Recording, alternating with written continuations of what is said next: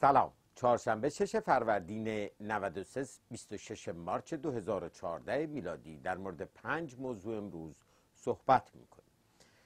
موضوع اول اینکه اعتراض شدیدی جامعه جهانی کرده در واکنش به اعدام های گسترده حکم اعدام گسترده که در مصر صادر شده. خانم اشتون مسئول سیاست خارجی اتحادیه اروپا وزارت خارجه امریکا سازمان ملل و دهها سازمان حقوق بشری و بسیاری کشورها واکنش نشون دادند و به دولت مصر اعتراض کردند. اجلاس جی هفت و همینطور اجلاس دو روزه امنیت هسته‌ای در هلند به پایان رسید. آقای اوباما در انتهای این اجلاس مطلب مسئله روسیه رو در نطخی شدید و لحن مطرح کرد و گفت روسیه یک قدرت منطقه‌ای است که از ضعفش به تهدید همسایگان می‌پردازه. همینطور در این اجلاس هسته‌ای هم که سه کشور شرکت داشتن نهایتا پیمانی که امضا شد روسیه چین هند و پاکستان امضا نکردند. البته ایران و کره شمالی هم که اساسا شرکت نداشتند. اما مفسرین معتقدند که در اجلاس جی هفت آقای اوباما نتوانست اروپایی ها رو در ایجاد فشار بیشتر روی روسیه با خودش همراه کنه و تقریبا کم و بیش گفته میشه که این مقدار تحریم رو تا اینجا اروپایی ها گفتن نگه داریم و اگر روسیه به شرق اوکراین یا کشورهای دیگه مثل مولداوی و غیره بخواد حمله بکنه سراغ تحریم های بیشتر برن. اما هنوز معلوم نیست دقیقا چه توافقی شده. اگرچه آقای اوباما تهدید کرد روسیه رو که امریکا و متحدینش متفق علیه روسیه هستند و آمادن تحریم هایی رو بگذارند که حتی اگر به ضرر خودشون بشه روسیه رو زیر فشار و انزوای بیشتر قرار بده. آقای لاروف وزیر خارجه روسیه در صحبتی گفت که یک سال صبر کنین در واقع مثل سیاست آقای خامنه ایشون فکر کرده که این ماجراها رد میشه و ناچار میشن مثلا از ارتباط با روسیه ضمن اینکه ایشون جی هفت رو یک کلوب خونده که مهم نیست ولی جی بیست رو که روسیه هم عضوش هست با اهمیت تلقی کرده.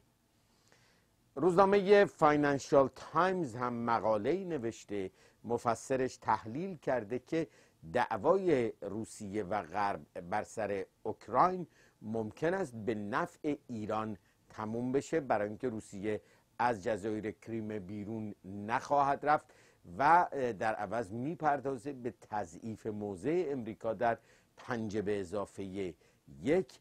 و فاینانشال تایمز گفته ممکنه حتی روسیه سیستم دفاع موشکی S-300 رو در اختیار ایران قرار بده. موضوعی که من بعید می‌دونم روسیه دست به قمارش بزنه و برای اینکه بلافاصله سیستم های موشکی در مرزهاش مستقر خواهد شد و ضمنا این مفسر گفته که ایران هم اوکراین رو میدان مینی می‌دونه که در اون پا نمی‌گذاره و حرف درستی هم می‌زنه. با توجه به حرفایی هم که آقای علی لاریجانی زد. ولی پاره محافل در ایران مثل خبرگزاری فارس یا خبرگزاری های امنیتی دیگه این روزها در بحران اوکراین از روسیه طرفداری می‌کنن. نکته دوم این که معاون وزارت نفت آقای منصور معظمی عنوان کرده که با فروش یک و دو دهم میلیون بشک نفت در روز مملکت رو نمی‌توانیم اداره کنیم. درست هم ایشون میگه. ضرب در متوسط قیمت فروش که بکنیم این عدد رو حدود 40 میلیارد دلار عددی نیست که ایران قابل اداره باشه. ضمن ایشون گفته صنعت نفت صدمه زیادی خورده. از ده هزار میلیارد تومن بدهی دولت به پیمانکاران که بسیاری از اونها رو روانه زندان هم کرده سازمان برنامه قول داده در چند روز آینده چهار هزار و میلیارد تومن اون رو بپردازن. نکته سوم اینکه دوباره یک اتوبوس حامل جوانان که از کرمان این بار آورده بودند و همه پسر بودن از مدارس پسرانه اتوبوس های طرحهای راهیان نور که به مناطق جنگی می‌برند در خوزستان واژگون شده و دست کم شش نفر کشته شدن. بسیج و سپاه این طرح رو انجام میدن و تا با حال ده ها کشته روی دست خانواده ها گذاشتند اما دست بردار نیستند آقای دکتر ابراهیم باستانی پاریزی نویسنده شاعر و مورخ نامبردار هم دیروز فوت کرد. کسی که قلم شیرین و انتقادی او به قول خودش تاریخ بهانه برای باستانی بود برای اینکه قلم بزنه و بنویسه و بسیاری از نسل کتابخان کشور به خصوص علاقمندان به تاریخ با آثار او سالها سر کردند و بزرگ شدند. اما در سخنرانی آقای هاشمی رفسنجانی در جزیره کیش که معمولا عیدها آقای رفسنجانی برای تعطیلات میره قرار بوده در مسجد کیش صحبت بکنه گروهی شعار دادن و بالاخره آقای رفسنجانی اصلا به مسجد نیامد و موفق شدن سخنرانی او رو به هم بزنن. فرماندار هرمزگان که ظاهرا از سفر آقای رفسنجانی بی اطلاع بوده هم دستور برکناری بخشدار کیش و هم فرماندار بندر لنگه و هم رئیس دفتر خودش رو صادر کرد.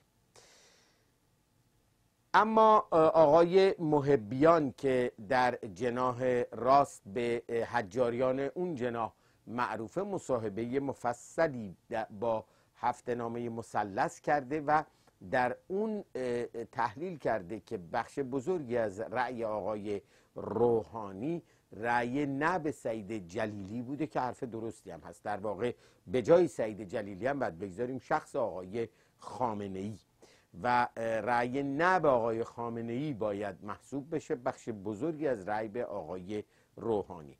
ضمنا از آقای رفسنجانی تعریف کرده آقای محبیان و گفته بازی سیاسی او او رو برنده اصلی انتخابات اخیر کرده بود. آقای تسخیری هم که از زمان آقای خمینی نماینده در کویت و تقریب بین مذاهب و غیره تا الانم هست در اظهار نظری گفته که ما شیعیان هم حکومت جمهوری اسلامی و نظام جمهوری اسلامی در افراطی نشان دادن شیعیان مقصره و باعث واکنش میشه اشاره های آشکاری هم به امثال آقای مصباح یزدی داره ایش. نکته چهارم اینکه حشمت الله تبرزدی زندانی سیاسی سرشناس نامه ای رو نوشته. از حقوقدانای ایرانی در خارج مثل خانم عبادی آقای لاهی و رو درخواست کرده که شکایت علیه آقای خامنه ای در مجامع بین المللی مطرح کنند. سیامک پورشجری دیگر زندانی سیاسی سرشناس هم نامه شجاعانه ای رو نوشته. خطاب به محافل بین المللی و در اون شرح مسائلی رو که بر اونها رفته ذکر می‌کنه و گفته ما قربانیان این نظام هستیم یک زندانی سیاسی رو در یک اتاق چند متری با سی چهل مجرم و متجاوز و آدم های خلاف در یک جا قرار میدن و مصائبی از این دست رو برشمرد اما در ایام نوروز حکومت به جای ایجاد تسهیل برای ملاقات های خانواده های زندانیان سیاسی دست به محدودیت های بی سابقه ای زده و به قول پاره خانواده های زندانی سیاسی گفتن لاعقل به خاطرات بزرگان همین نظام رجوع کنید که رژیم از و از رژیم شاه یاد بگیرید که در ایام نوروز حداقل ملاقات های عمومیتر و باز ترتیب می‌داد تا عید مبارکی بتونند خانواده ها به زندانیانشون بگن. شش نفر از پنج نفر از زندانیان سیاسی موفق شدند سرانجام بهشون مرخصی دادن دیروز و یک نفر هم آقای عباس غفاری نفر ششمی است که همون کسی است که نزدیک به آقای مشایی بود و دوربرش گفته می‌شد که در جنگیری و علوم غریبه و غیره دستار او هم نفر ششمی است که بهش مرخصی دادن. اما نکته آخر این که مدیر کل تشریفات مجلس شورای اسلامی گفته اشکال کار ما این است که کسایی که در این بخش هستیم هیچ کدوم زبان انگلیسی بلد نیستیم و ایشون صادقانه گفته خود من هم بلد نیستم تازه دارم کلاس انگلیسی میرم. اندکی سب سهر نزدیک است تا فردا شاد پیروز موفق و سرفراز باشید. به امید پیروزی ایران و ایرانی.